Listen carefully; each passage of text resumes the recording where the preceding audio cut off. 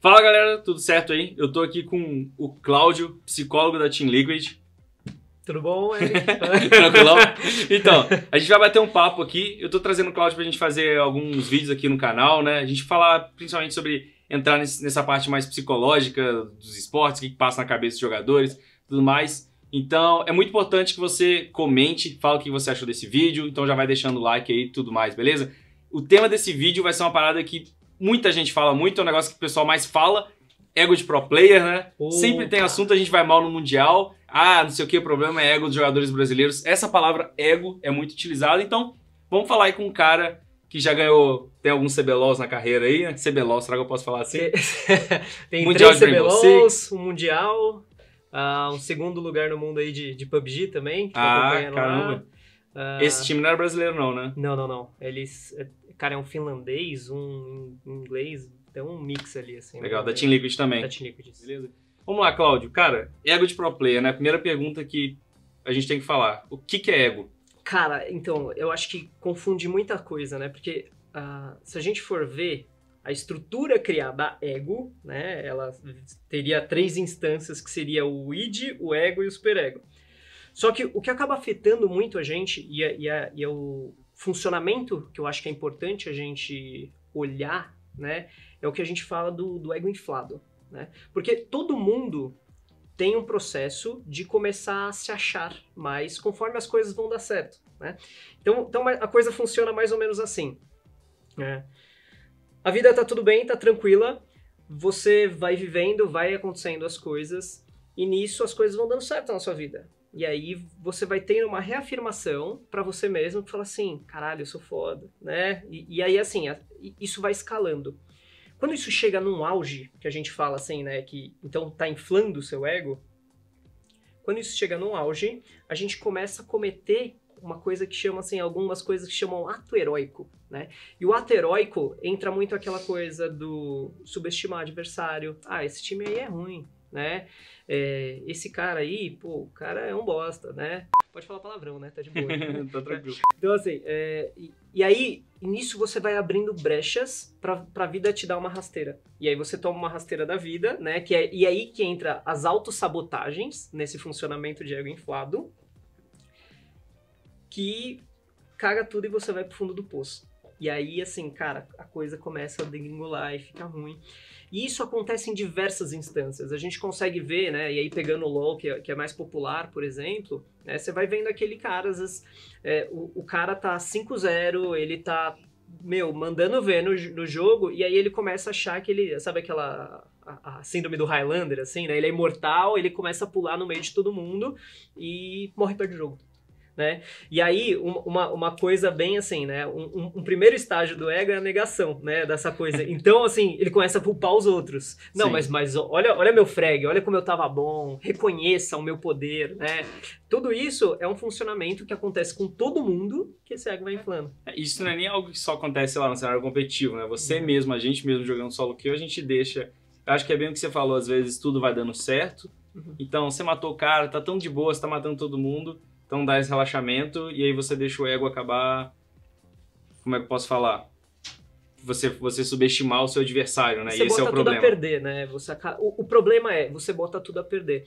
Então, principalmente quando você tem ou jogadores muito bons, né? Ou ah, as coisas começam a, a caminhar de, uma, de um jeito muito positivo, né? É, é um dos momentos que a gente precisa tomar mais cuidado. Uhum. Porque se você não tiver esse poder de reavaliação, você se auto-sabota e põe tudo a perder. Né? Então, é, isso acontece com todo mundo, isso acontece na parte, na parte de games, na parte financeira, isso acontece na parte de relacionamentos, né? Sabe assim, às vezes tá tudo bem na vida, mas assim, você vai lá e precisa, tipo, fazer alguma coisa para gerar um tormento ali na sua vida, entendeu? Uhum. Então, é importante você é, autoavaliar. Então, como é que tá isso, né? Como é, como é que é, tá funcionando isso em mim? Porque se você consegue prestar atenção nisso e manter uns certos freios, né, você se consegue manter no topo por mais tempo.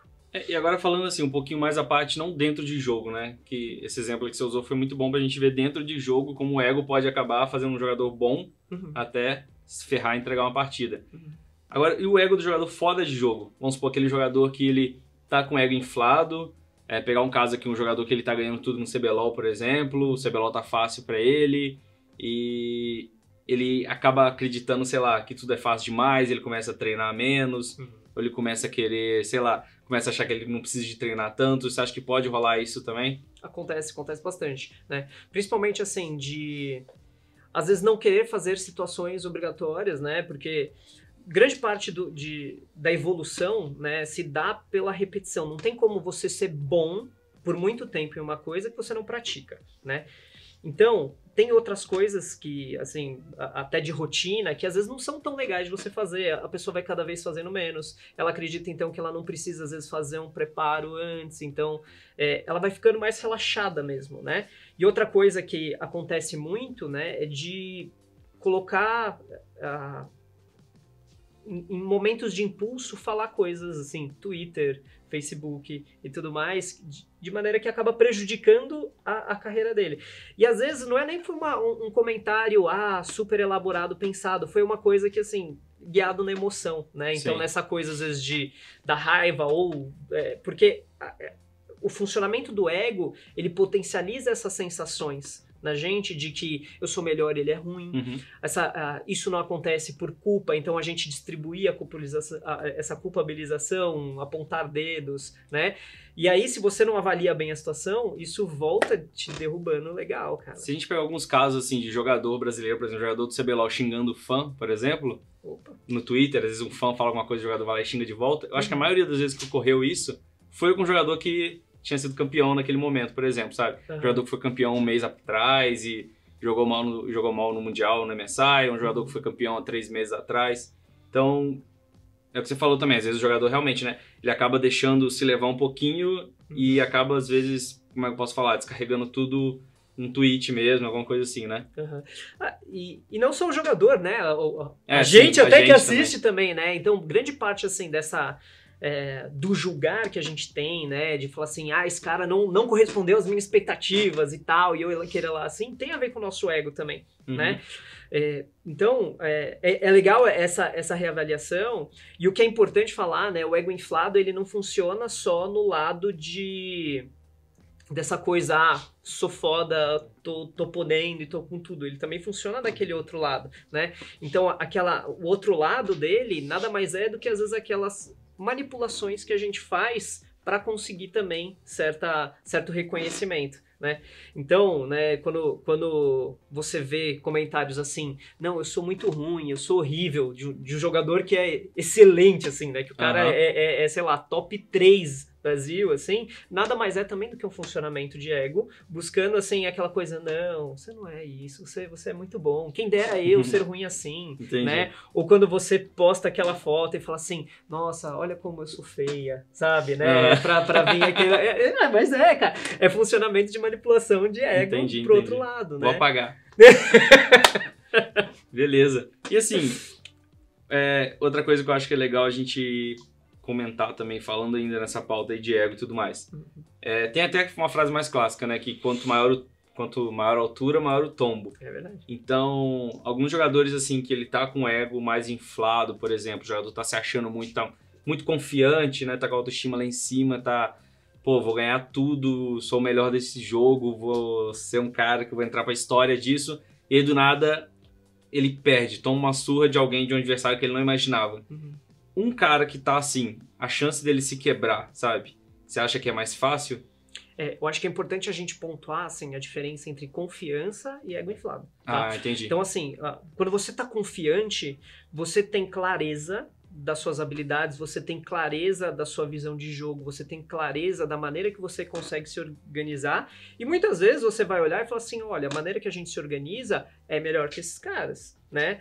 É, isso é diferente de, às vezes, você subestimar e dar espaço, uhum. né? Você pode entrar confiante, fazer tudo certinho que você tem que colocar, sem dar espaço, sem, sem deixar vir esse relaxamento que, de, que te derrubaria, né? São duas coisas diferentes, né? São, são duas coisas diferentes. E, e é muito comum confundir. Você porque... pode ser confiante e não subestimar o seu adversário. Exatamente. Né? Entendi. É, uma, uma das coisas que eu falava até com as, com as equipes, né, é, que, eu, que eu atuei, né, que era saiba que você é melhor que o cara, né? Mas assim, coloque isso em ações. Porque se você de fato for melhor que ele, não é você falando que vai assim. Se você acabar o jogo em 12 minutos, 18 minutos, assim, você prova isso, né? Eu não, eu, não quero, eu não quero ouvir você falando isso. Me prova com ações. Se você provar com ações, cara, beleza. Você é melhor, né? E, e isso, isso deixa de ficar nessa nesse, nesse ponto de você a, abrir essas brechas, que o problema dessa de você ir assim, ai ah, não, sou super super melhor aqui, então eu vou jogar com uma mão para trás, sabe? Sim, sim. E aí você vai, perde campeonato, é eliminado, seu time é rebaixado, e aí você fala, cara, o que aconteceu? É. E tipo, eu já conversei com alguns jogadores, por exemplo, assim, jogando, tá no seu auge e tudo mais, e eu pergunto pro cara às vezes, é, você acha que são melhor da sua posição, alguma coisa assim? Tem alguns que viram falar, ah, eu ganhei tal coisa, tal coisa, então sou melhor. Uhum. Né, o próprio Ning falou comigo assim na mensagem, falou, ah, eu sou o melhor jogador do mundo, eu ganhei o Mundial, não ganhei? Então eu sou o uhum. melhor. Ele falou assim. E tem alguns, por exemplo, já virei, o cara falou, ah, eu sempre tento imaginar que, é, que eu sou o melhor, mas ao mesmo tempo que eu posso deixar de ser o melhor amanhã, alguma uhum. coisa assim. Você acha que às vezes o um mindset assim, do cara realmente que é o melhor. Se o cara não for o melhor, ele não pode botar na cabeça dele que ele é o melhor. Uhum. Não sei. Né? Falando assim. É, qual que é o ponto, né? É, a gente pode às vezes cair em muitas armadilhas nisso, uhum. né? Eu. Não, não, é, o difícil de a gente colocar isso é que não tem assim, não ah, tem o jeito, bolo, não, não, tem, tem o certo e né? errado, tem o que funciona para esse cara, né? Porque tem gente que consegue assim, cara, eu sou melhor, então eu treino baseado em mim e eu vou melhorando a partir de mim. Né? E tem um outro cara que às vezes é aquela coisa, eu peguei o, o top 1, opa, eu relaxei. Cara, eu já sou o melhor, né? Só que assim, tem alguém nas suas costas lá ralando, Sim. né? Então se você fala assim, ok, atualmente eu ganhei isso e tal, mas eu sei que tem gente nas minhas costas correndo atrás e eu não posso relaxar, né?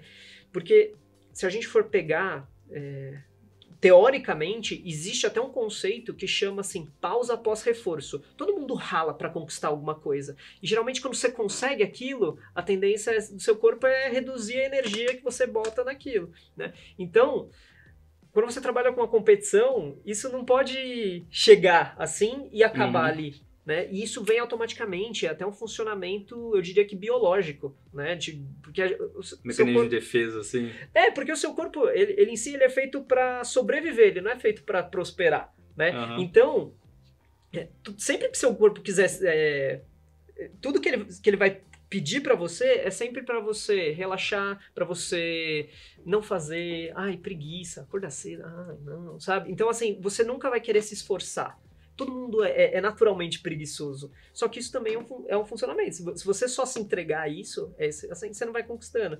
Então, e quando você conquista e se entrega a isso, você, você vai perder o local que você, que você conquistou. Beleza, então assim, pra gente finalizar, você diria Show. que, por exemplo, achei interessante que você falou um negócio que eu fiquei surpreso até a diferença entre ego e confiança. Uhum. O ideal é o jogador ser confiante, mas não ter o ego inflado, né? Não, o ideal, assim, é você perceber que seu ego tá inflando e você não se deixar levar por ele. Né? E, e aí a gente entra na, na importância do, do, do, acompanhamento que a gente faz é, psicológico das Sim. equipes, de você perceber o seu funcionamento, de você ter esse autoconhecimento e você ver quais são essas suas sabotagens, porque você pode, às vezes, fazer o seu ano inteiro, é, botar seu ano inteiro a perder por conta de, um, de, uma, de uma sensação. Sim, né? Sim. E, e, de, desse, e de deixar relaxar, de não levar tanto a sério e de não, não querer, às vezes, finalizar por, por essa sensação, né, de, de ego inflado. Legal. Eu acho que, assim, todos nós, assim, independente da sua profissão, o que, que você faz, a gente já teve momentos que você sente realmente uhum. você, a gente acaba se achando um pouco mais, tem que tomar cuidado com isso, né? Pra caramba, cara. E é aquela coisa, né? Porque se a gente se deixa isso, é, você, você se prejudica, né? E aí você, você acaba tendo aquele choque de realidade, você fala assim, putz, cara, não acredito que eu tava com essa visão, né? Sim. E aí, assim, negação, negação, aquela sensação ruim, fundo do poço, baixa de autoestima, caga tudo. Então é pessoal. Esse é o Cláudio. A gente vai estar trazendo outros vídeos nesse estilo assim, então eu preciso que você comente aí, né? O que você acha, qual assunto que você acha legal a gente debater aqui, né? A gente tem aqui o Cláudio aqui para poder trocar ideia. Então, comenta aí, beleza? Comenta, pergunta, tamo aí, gente. E, ó, o Cláudio, ele tá fazendo bastante conteúdo sobre esse assunto nas redes sociais dele também. Vai estar tá tudo aqui na descrição do vídeo, beleza? segue o Cláudio lá, ele tá fazendo bastante conteúdo, principalmente você também que é estudante de psicologia, tem uma parada legal, né, que é o seu grupo lá, né? Sim, tem o é, não só para estudantes de psicologia, mas qualquer pessoa que se interesse por psicologia do esportes ou desenvolvimento de, de atletas, né, de, de esportes, tem o grupo no Facebook, que é um grupo de estudos, que é Estudos em Psicologia do Esportes. Entra lá, é bem-vindo para todo mundo, material gratuito, só vai. Show. Então é isso aí, pessoal. Deixa o like aí, comenta sugestão para os próximos vídeos, se inscreva no canal do Mais Esportes. Obrigadão, Cláudio. Valeu. Lembrando também que o Mais Esportes é patrocinado pela Betway, beleza? Então se você quiser apostar em jogos da LCK, Major CSGO, CBLOL, LCS, por aí vai, então, se você tiver mais de 18 anos, já entra aí no link que tá na descrição desse vídeo e com esse link, além de estar tá ajudando aqui o Mais Esportes a continuar trazendo conteúdo, você também vai ter o seu saldo dobrado. E não se esqueça também de se inscrever aqui no nosso canal, deixa o like nesse vídeo, mete o dedo no like aí e também ativa aquele sininho para você ficar por dentro de tudo que rola no universo dos esportes.